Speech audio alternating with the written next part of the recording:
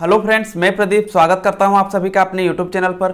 Friends, अगर आपने SSC MTS भर्ती के लिए एप्लीकेशन सबमिट कर दिया है और इसके एग्ज़ाम होने का वेट कर रहे हैं तो आई होप कि अभी तक आपको इसके फ़र्स्ट कंप्यूटर बेस्ड एग्जामिनेशन का डेट पता चल गया होगा, क्योंकि एसएससी ने एमटीएस के सीबीटी वन का एग्ज़ाम डेट अनाउंस कर दिया है। और इस एग्ज़ाम के डेट के बारे में मैंने अपने पिछले वीडियो में भी आप लोगों को बता रखा है। अगर आपने अभी तक उस वीडियो को नहीं देखा है तो इस वीडियो को देखने के बाद ज़रूर देखें, क्योंकि उस वीडियो में एमटीएस से रिलेटेड और भी बहुत सारी ऐसे जानकारियाँ हैं जो आपको एग्ज़ाम से पहले जान लेना ज़रूरी है। आपके जानकारी के लिए एक बार फिर से मैं बताना चाहता हूँ कि एसएससी एमटीएस 2020 भर्ती के लिए सीबीटी वन का एग्ज़ाम कमीशन ने 5 अक्टूबर से 20 अक्टूबर 2021 के बीच कंडक्ट करवाने का फैसला किया है। और इस एग्ज़ाम में शामिल होने के लिए आपको अपने एप्लीकेशन से संबंधित कुछ चीज़ों का पता लगाना होगा। जैसे कि आपने तो अपना एप्लीकेशन सबमिट कर दिया है, लेकिन क्या वो एप्लीकेशन एसएससी द्वारा एक्सेप्ट किया गया है, या फिर एसएससी ने आपका एप्लीकेशन रिजेक्ट कर दिया है? आपने इस भर्ती के लिए अप्लाई करने से पहले रजिस्ट्रेशन ज़रूर किया होगा। तो क्या वो रजिस्ट्रेशन आपने सही से किया था, या किसी कॉलम को आपने खाली छोड़ दिया था?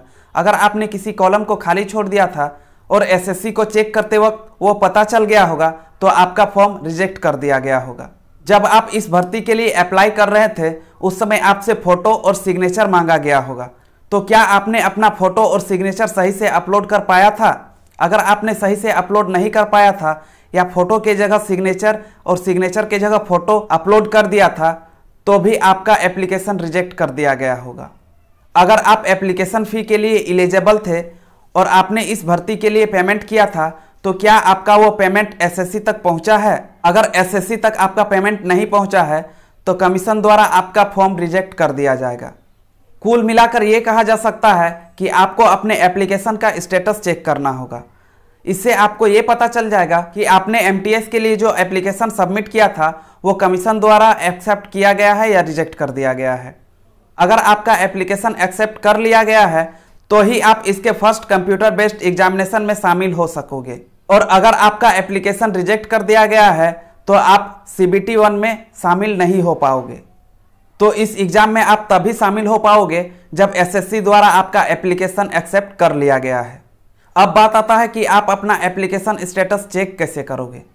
तो आइए मैं आपको अपने एक व्यूअर्स का डिटेल लेके लॉगिन करके दिखाता हूँ और बताता हूँ कि आप अपना एप्लीकेशन का स्टेटस कैसे चेक करोगे। अगर आप अपना एप्लीकेशन का स्टेटस जानना चाहते हो तो इसके लिए आपको एसएससी के ऑफिशियल वेबसाइट पर जाना होगा। इस वेबसाइट पर आने के बाद आपको लॉगिन करना होगा। लॉगिन करने के लिए आपसे आपका रजिस्ट्रेशन नंबर और पासवर्ड मांगा जाएगा। तो आप अपना रजिस्ट्रेशन नंबर और पासवर्ड एंटर कर दें। इसके बाद आपको एक कैप्चा कोड देखने को मिलेगा।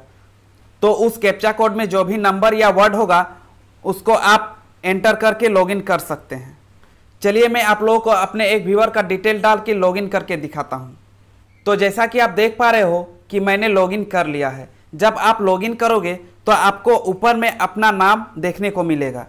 मैंने उस व्यूअर का नाम को सिक्योरिटी के लिए स्क्रॉल करके ऊपर कर दिया है। तो जैसे ही आप लॉगिन करोगे, आपको इस तरह का पेज देखने को मिलेगा।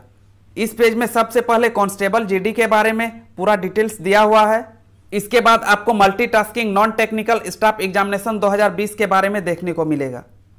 और जैसे ही आप इसके नीचे देखोगे, आपको एप्लीकेशन स्टेटस लिखा हुआ देखने को मिल जाएगा। आपको इस पर क्लिक करना है। और जैसे ही आप इस पर क्लिक करोगे, आपको इस तरह का एक पेज देखने को मिलेगा। और इस पेज में लिखा होगा application status multitasking non technical staff examination 2020 तो आप यहाँ पर देख सकते हो कि इस व्यूअर का सारा चीज़ एक्सेप्ट कर लिया गया है। जैसे कि registration status provisionally accepted photo and signature upload provisionally accepted apply form provisionally accepted इस कैंडिडेट को पेमेंट के लिए छूट दिया गया था, इसलिए फ़ी एग्जम्प्टेड लिखा हुआ है। इसके बाद इसका एप्लीकेशन स्टेटस भी प्रोविजनली एक्सेप्ट कर लिया गया है। अगर आपका भी फॉर्म एक्सेप्ट कर लिया गया होगा तो इसी तरह का सारा चीज़ प्रोविजनली एक्सेप्टेड लिखा हुआ होगा। और अगर आपने फॉर्म अप्लाई करते समय किसी चीज़ में गलती किया होगा तो आपका फॉर्म एक्सेप्ट नहीं किया गया होगा। आई होप कि आपको समझ में आ गया होगा कि आप अपना एप्लीकेशन का स्टेटस कैसे चेक करोगे। अगर इसके बावजूद भी इससे रिलेटेड आपको किसी तरह का हेल्प चाहिए तो आप मुझे डायरेक्ट इंस्टाग्राम पर मैसेज करके पूछ सकते हो। इंस्टाग्राम का लिंक आपको डिस्क्रिप्शन बॉक्स में मिल जाएगा। आज के वीडियो में बस इतना ही। अगर आपको पसंद आया हो तो लाइक करें और अपने फ्रेंड्स के साथ शेयर ज़रूर करें। चैनल पर नए हो तो सब्सक्राइब करें और नोटिफिकेशन बेल को दबा के ऑल को सेलेक्ट कर दें ताकि इसी तरह के इन्फॉर्मेशन का नोटिफिकेशन सबसे पहले आपको मिल जाए। धन्यवाद।